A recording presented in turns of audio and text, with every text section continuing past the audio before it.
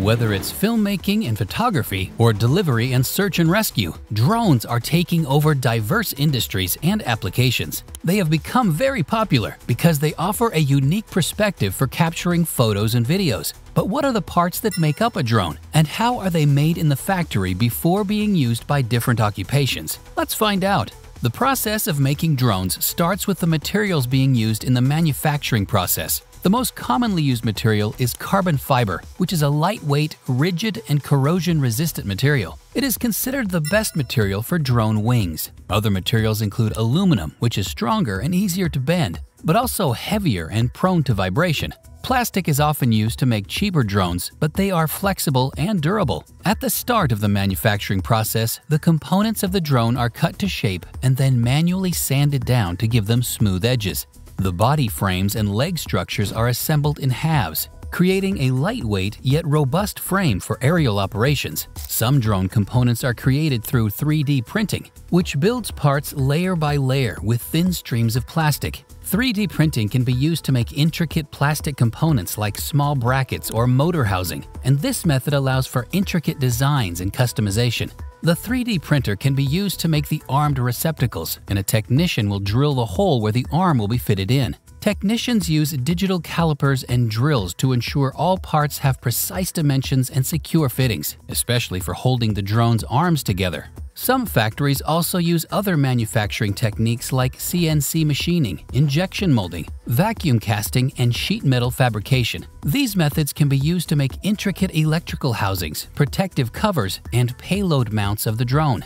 For instance, vacuum forming can be used to shape plastic covers that protect internal systems. Meanwhile, injection molding produces consistent parts like connectors and fittings. Some factories also use CNC machining, which can cut the carbon fiber and other metal parts for the frame and motor mounts. After manufacturing the carbon fiber components, which are used to make the body and legs, and the 3D printed parts which can be used to make receptacles for arms and wings, the next step is to assemble the key systems. This step involves assembling the electrical, mechanical, and structural components, creating a cohesive unit. The electrical system begins with attaching the electronic speed controllers, also known as ESCs, which regulates the motors that drive the rotors. The ESCs are connected to a powerful harness with different connectors, allowing energy to be distributed to all components. Then the autopilot on the onboard computer will be installed and linked to the ESCs, GPS module, and the servo motor that controls the camera.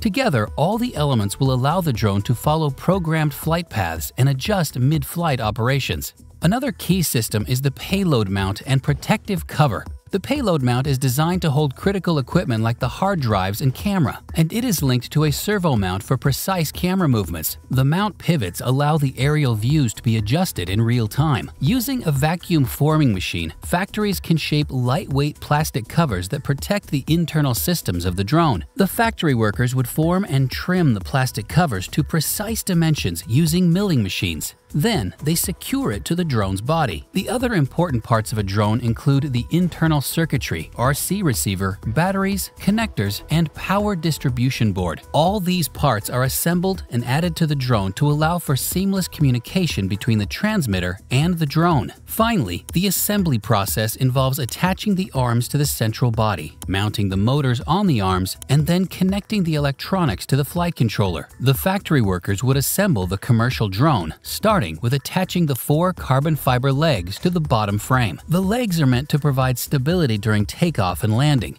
The carbon fiber arms, which are equipped with a rotor and motor, are inserted and clamped into the receptacles securely. The arms are precision engineered to align perfectly. The electrical systems like the power harness and electronic speed controllers will be finalized in this stage. The motor on every arm connects easily to the ESC, regulating the rotor's speed. The autopilot will be installed and linked to all key systems, and the payload mount will also be securely attached and connected. A vacuum spring-formed plastic cover is installed over the drone's body, protecting the internal components from external damage. The openings for the payload mount and camera will be precisely trimmed to prevent any hindrance in the drone operation. Once assembly is completed, the autopilot is programmed to execute predetermined flight paths and operate all integrated systems. This includes responding to remote controls and GPS-based navigation. After assembly, the drone will have to be calibrated and tested to fine-tune motor settings and ensure stable flight performance. Commercial drones, also known as unmanned aerial vehicles or remotely piloted aircraft systems, are drones that are often used for business purposes rather than recreational purposes. For instance, businesses might use drones for construction inspections, surveying lands, creating maps, making deliveries, search and rescue, and more. Drones can be used to trip alarms and generate footage for security purposes, and can be used for mapping and surveying in mining and quarrying. Drones are also used to locate people in areas affected by natural disasters, and they can provide detailed inspections for building and road construction planning. Commercial drones are more durable and robust than personal drones, and they can be customized for different needs. To fly a commercial drone, you need a license, but commercial drones attract fewer laws and license requirements than personal drones. With a commercial drone, you can collect up-to-the-minute data and get aerial views news. The most commonly used commercial drone is the octocopter, which is a type of drone with eight propellers and rotors. These drones are fitted with eight motors, which can carry heavier payload compared to drones with fewer motors. With their eight rotors, octocopters can lift heavier payloads, making them suitable for search and rescue, industrial inspections, or carrying large cameras for professional videography. Drones with eight motors are also more stable and offer less redundancy. If one motor fails, the drone can still maintain flight. Octocopters are often used in situations where heavier payloads or high stability are required.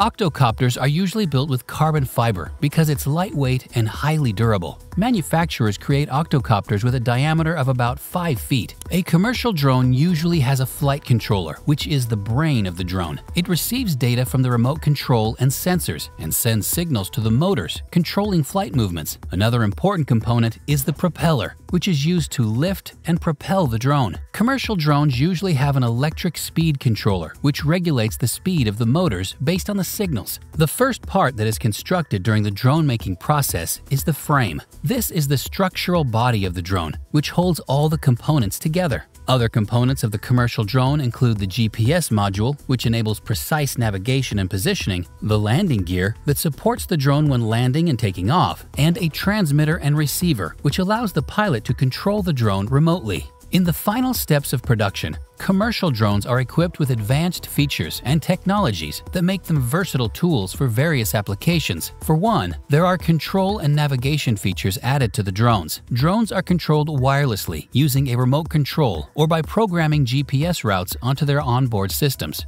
Another feature is the onboard camera, which is mounted on a payload with a servo motor. It pivots dynamically to capture the aerial views of the ground. This flexibility means that the camera can be used for infrastructure inspection and agricultural management and resource monitoring. Some drones also come with advanced imaging sensors, allowing for thermal imaging, high-resolution mapping, and multispectral analysis. The rotors on a commercial drone are driven by the motors for an agile flight. The multi-rotor design, especially in octocopters, offers enhanced maneuverability. Modern commercial drones come equipped with technologies like obstacle avoidance, which allows them to steer clear of obstacles during flight. Meanwhile, automatic return to home functionality ensures that the drone would always go back to its starting point in case of a lost signal or low battery. Another advanced feature is real-time data transmission, which allows immediate access to captured information. Companies are also adding artificial intelligence capabilities to their drones, as this allows for data analysis and operational efficiency. What other features do you think should be added to a drone? Let us know your thoughts in the comments.